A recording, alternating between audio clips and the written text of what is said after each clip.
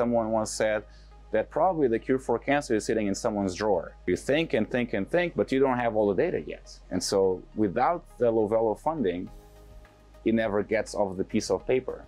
And so in our case, we're actually developing at the MUSC new chimeric antigen receptors, which is a kind of risky work that is not funded by traditional mechanisms. LOWVELO cannot be emphasized enough how crucial it is to get things off the ground and allow breakthroughs because without this there's no breakthroughs. Cancer is such a devastating and complex disease, not one person can do it alone. And so I think riding on a LOWVELO bike ride, I feel is part of a contribution that most people can do. You feel like a family. It's uh, cancer not against one, it's cancer against all of us. And so I think that gives me renewed hope that our efforts combined, both the research and the fundraising and the getting together as a, as a group of people can really help uh, defeat this disease once and for all.